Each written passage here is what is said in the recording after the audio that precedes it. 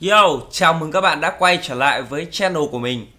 Mình là Vũ Lít Thì ờ, như những bạn nào là fan hâm mộ của Vũ Lít Thì sẽ biết là mấy hôm nay Vũ Lít đang bị bệnh ỉa chảy Thì ờ, hôm nay mình có lên trên ờ, mạng để mình tìm hiểu Một số cái nguyên nhân tại sao mà khiến mình bị ỉa chảy Thì mình đã tìm ra được một cái clip Nó ghi là nguyên nhân gây ra bệnh ỉa chảy Mọi người nên xem để rút kinh nghiệm. Đấy thì mình đã bị ỉa cháy rồi mà mình vẫn chưa biết cách nào để rút kinh nghiệm, để lần sau không bị ỉa cháy nữa. Thì à, cái video này thì khuyến khích các bạn không nên xem trong lúc đang ăn nhá. Thì bạn nào mà đang ăn thì mình nghĩ là nên ăn xong đi rồi xem, thế nhá.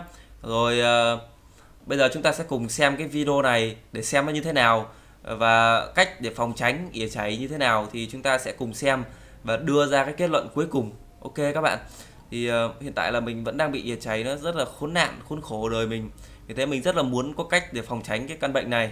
Ok chúng ta cùng xem nhá. Đầu tiên chúng ta thấy một người đang ói ói đầy này nhìn kinh vậy. This is the story Ôi. of how cholera changed yes. my village. Ê, what the ui nó ỉa ra sông các bạn ơi. Vậy đây là ỉa ra sông rồi. Rồi những cái cục cứt nó sẽ chui theo cái dòng nước Ồ, oh, lại có người lấy nước sông về á.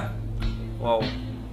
Rồi, lấy nước cứt Lại có một thằng ỉa ngay đây Bấn tay ỉa tao không chui đít Ui, ruồi nó ăn. Bắt tay nhau. Sau ruồi nó bay vào bâu rồi. Sao toàn cứt, cứt everywhere. Vậy ừ, cứt. Rồi, xong mấy con ruồi ruồi nó ăn cứt xong nó bám hết vào đây. Rồi, ông này uống nước cứt. Ồ, nhà này ăn bánh cứt Vậy là chúng ta đang ăn cứt à Rồi sau đó nó sẽ chui vào trong bụng Rồi Lại bị ỉa ra Kinh ấy nhở Nhìn rộn quá Ôi lại nôn ra đầy nhà What the fuck He had diarrhea that looked like rainwater and poured out of him. À? I was so scared. I went for help. Ủa sao cả làng bị luôn đấy. Nhưng mà đây là một cái ngôi làng rồi các bạn ạ kiểu đây ngôi làng là ngôi làng ngày xưa rồi. Rồi y ở đây giường bẩn vãi. ồ. Ghê quá. Cái bệnh này là bệnh quái gì rồi? Kinh quá. Cái này vẫn vẫn còn cứt. nước sôi vẫn còn cứt các bạn ạ. À là phải đun sôi. Cái này người ta nhắc nhở mình ấy là phải ờ, phải uống nước đun sôi chứ đừng có bao giờ uống nước mà không đun sôi các bạn ạ.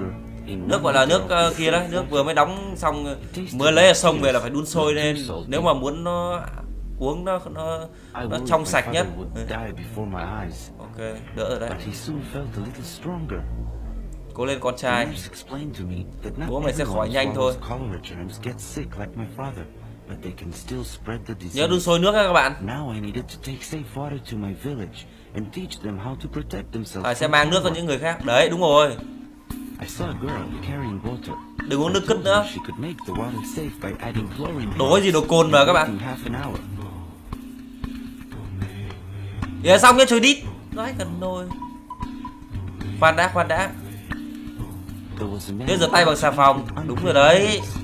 Đúng rồi đấy. Đúng, mình mình nghĩ là từ ngày mai mình đi xong mình sẽ phải phải phải rửa tay bằng xà phòng. Nhớ chú đít Vãi bọn này ỉa kiểu gì À phải đào hố xí cách 30 mét rồi Đó đúng rồi. Nhưng mà thực sự là ở thành phố thì ai cũng có hố xí rồi Đây là rồi Cá này chứa cứt Rửa tay bằng cồn nữa. Ờ. Này. Nhớ ăn sôi nhé các bạn. Nhớ ăn sôi uống chín. À uống sôi ăn chín Tránh cái tình trạng bị uh, ỉa chảy I spread the word throughout my village and ran to find my father. Đấy bây giờ nguồn nước nó lại xanh sạch lại trở lại rồi nè. Còn phải lọc nữa cơ. Căn bản là không cần lọc đâu Chỉ cần ờ, uống nước đun sôi để nguội thôi. Và hãy đi vệ sinh Hãy nhà làm một cái nhà vệ sinh cách 30 mét. Rồi rồi giờ biết làm gì bây giờ Đó, nhớ rửa tay bằng xà bông, tuyệt vời.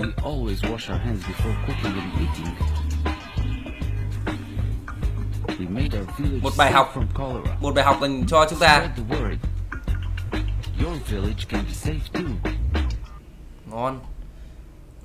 Ok, thì sau khi xem xong clip này thì mình đã rút ra một kinh nghiệm đó chính là sau khi các bạn đi ỉa xong thì nhớ chùi đít.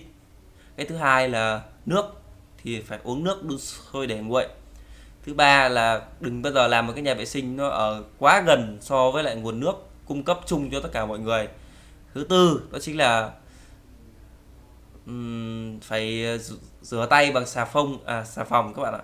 Và thứ năm là mình chưa biết đó, tuy nhiên là có rất là nhiều cách để phòng tránh tiêu chảy và người ta đã để lại ở trong clip này hy vọng là mọi người có thể hiểu mình thì mình đã hiểu hết rồi thực sự là mình cũng không hiểu lắm tuy nhiên là cũng cũng hiểu được phần nào đó rồi vì thế mà chúng ta hãy cùng nhau uh, chung tay để phòng tránh bệnh tiêu chảy nhé. Thôi mình đi ỉa cái đã. Buồn ỉa vãi